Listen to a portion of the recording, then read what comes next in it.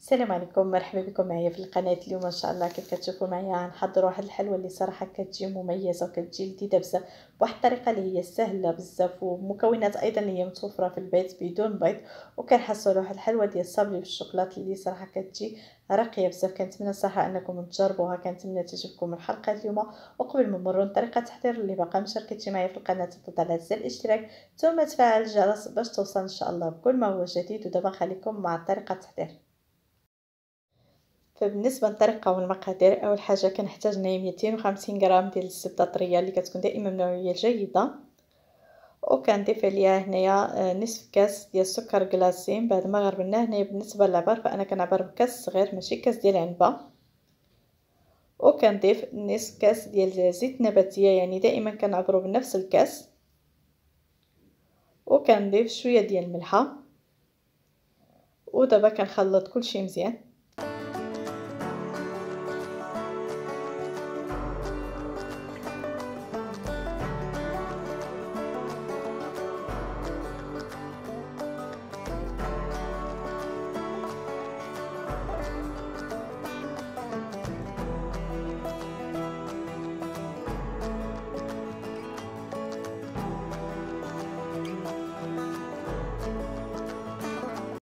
وهنايا كنضيف واحد الخنيشة ديال القهوه سريعه الذوبان وكنرجع نخلط.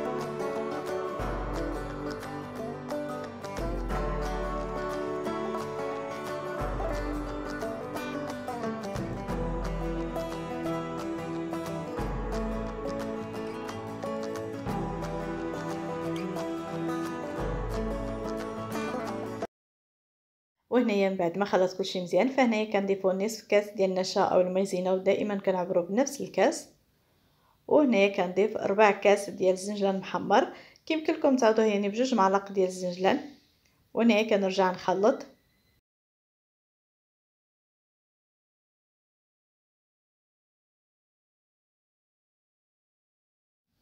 ودابا كنضيف واحد ملعقه كبيرة ديال بودرة الكاكاو. وكنرجع نخلط.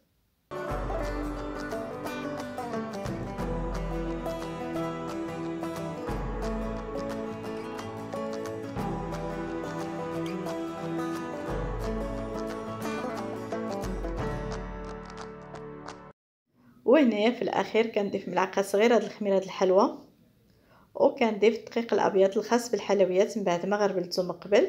هنايا كنضيفو بشوية بشوية للخليط وأنا كنجمع في العجينة ديالي حتى كنحصل واحد العجينة ديال الصابلي اللي كتكون رطبة. هنايا بالنسبة للعجينة راه ما كنعجنوهاش فقط غير كنجمع المكونات مع بعضياتها. هيدا باش كنحصلوا على الحلوة اللي كتجينا هشيشة وكتجينا رطبة.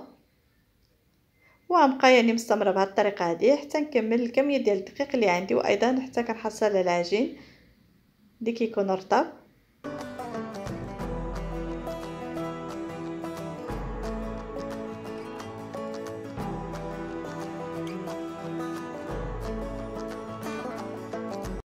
وهنايا من بعد ما ساليت فهنا كنحصل على العجينه اللي كتكون رطبة بهذا الشكل هذا كيف كتلاحظوا معايا؟ فضروري خصها تجي بهذا الشكل هذا هذا باش كنحصلوا على الحلوه ديالنا اللي كتجي هشيشه وكتجي لذيذة في المذاق ديالها.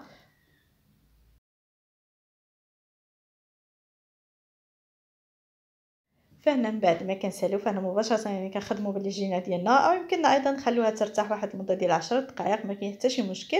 هنايا كناخذوا العجين ديالنا اللي كنحربلو بهذا الشكل هذا.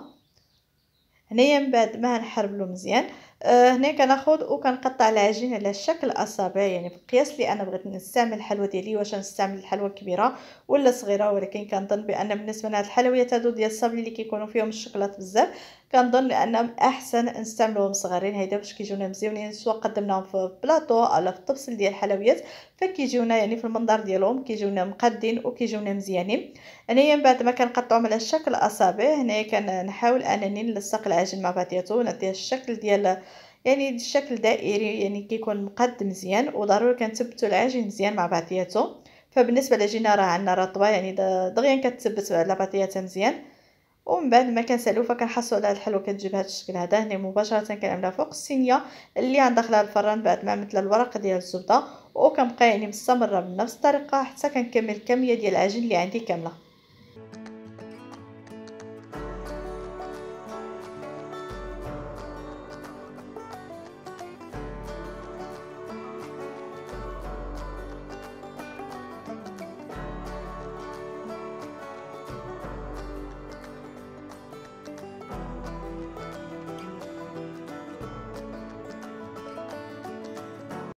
ودابا من بعد ما كنساليو فمباشره كندخل الحلوه ديالي للفران على درجه الحرارة 180 درجة. من بعد ما كنكونوا سخنا الفران من قبل وكندخلوا الحلوة ديالنا بالنسبة لهاد الحلوة دي راه ما كتاخذش الوقت بزاف فقط مجرد واحد 10 دقائق حتى 15 دقيقة وكنخرجوا الحلوة ديالنا.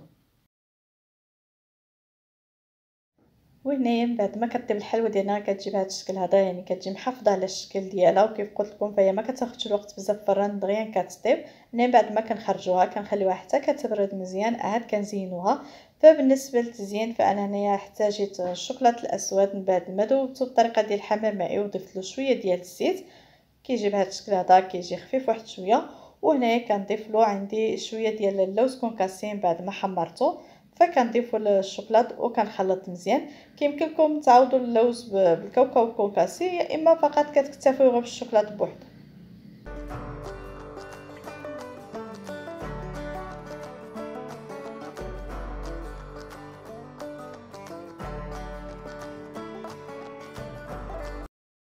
وهنايا كنبداو في تزيين الحلوى ديالنا. فهنا كناخذ الحلوى اللي كنغطسها مزيان في الشوكولاط ودائما كنحيدو ديك الزيادة ديال الشوكولاط وكنرجع الحلوى ديالي للصينيه اللي عندي فيها الورق ديال الزبدة. كيمكن لكم يعني تعوضوا الورق ديال الزبدة آه، بشي بلاستيك اللي كيكون غليظ حتى هو كيجي مزيان.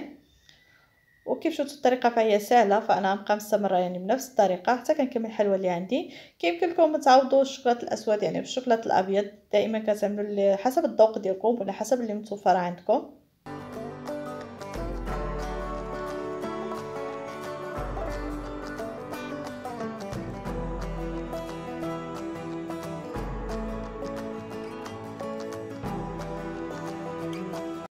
وهنايا بعد ما كنسالي التزيين ديال الحلوى بالشوكولاط ومن بعد ما كتنشف مزيان فهنايا بالنسبة للتزيين كيبقى اختياري يا إما كتقدموا الحلوى بهذا الشكل هذا يا إما كتزينوهم بالوريدات بالشوكولاط الأبيض أنا استعملت هذا المول هذا. خاصين بالشوكولاط وهنايا عندي الشوكولاط الأبيض من بعد ما صوبت بهم الوريدات كيجيو بهذا الشكل هذا. وهنايا عندي شوية ديال الشوكولاط الأبيض يعني مذوب كنضيفو شوية ديال الوريدة وكنلصق ديك الوريدة ديال الشوكولاط في الحلوى وكنحصلوا على الحلوى اللي كتجي بهذا الشكل هذا. فبالنسبة للتزيين فهو كيبقى اختياري على حسب اللي بغيتو. يا إما كتكتفيو فقط أنكم كتقدموا الحلوى ديالكم بهذا الشكل هذا. حتى هي كتجي الصراحة مزيانة. فأنا نبقى مستمرة بنفس الطريقة حتى كنكمل الحلوى اللي عندي كاملة.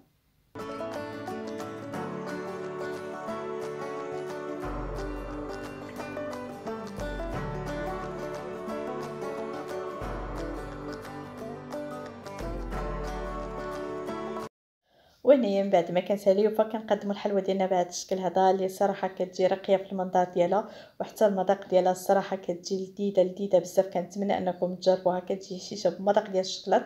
كنتمنى أنكم تجربوها. كنتمنى تكون عجبتكم الحلقة. اليوم واذا عجبتكم الحلقة ما تنساوش من الإعجاب وأيضا تشاركوا الفيديوهات ديالنا مع الأصدقاء ديالكم باش كتعمل فائده إن شاء الله للجميع ودابا نخليكم على خير. بسلام عليكم.